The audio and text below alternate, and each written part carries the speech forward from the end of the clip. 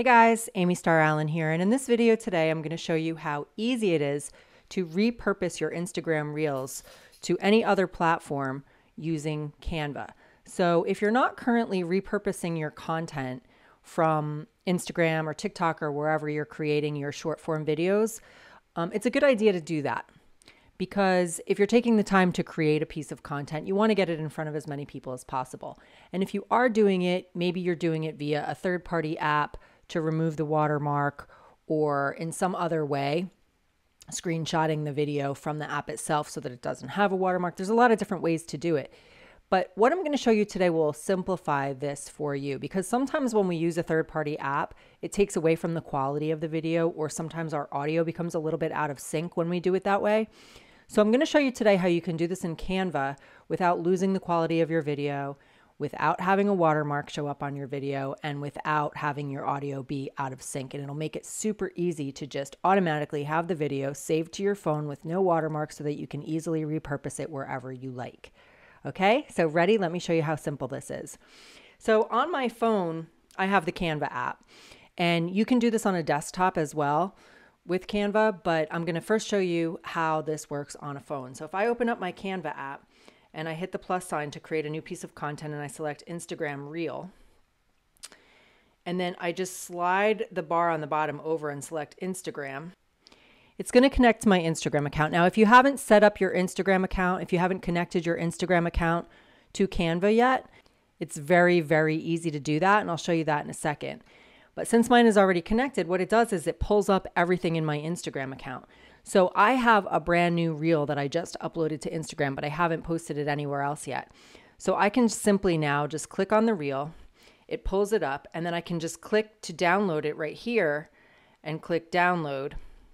It's going to save it as an MP4 video, and I click download and it saves it to my phone. That's it. Now it's on my phone, and I can easily go and upload it to TikTok or wherever else I want to put it because now it's just on my phone and it doesn't have a watermark.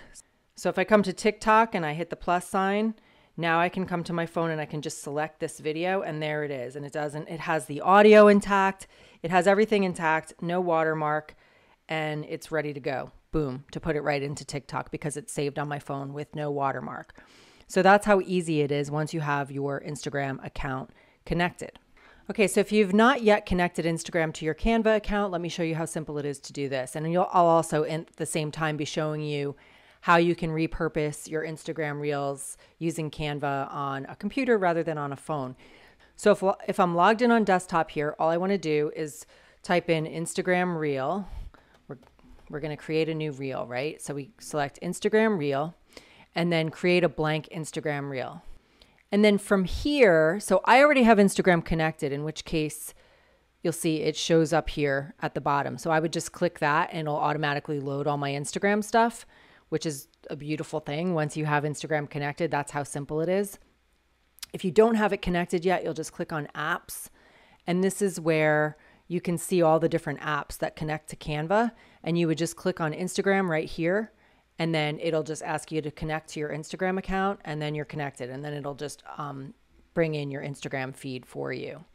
So once you have that done, when you click on your apps, you'll see the apps that you have connected here. So I already have Instagram connected. So when I click on it, it loads my Instagram feed.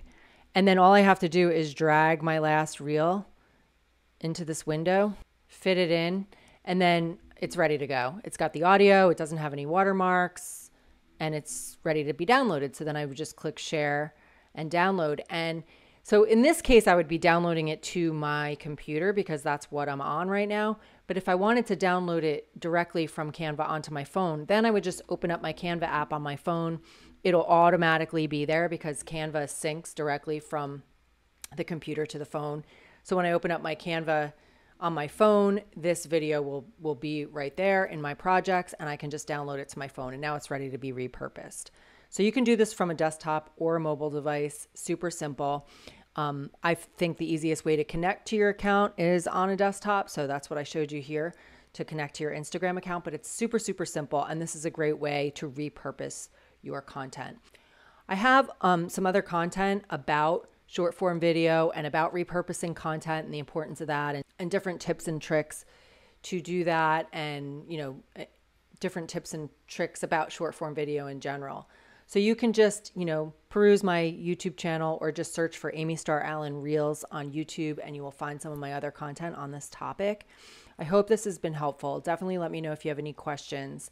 And I'm also going to leave you a link below to some of my free resources that might help you in other ways with your online marketing.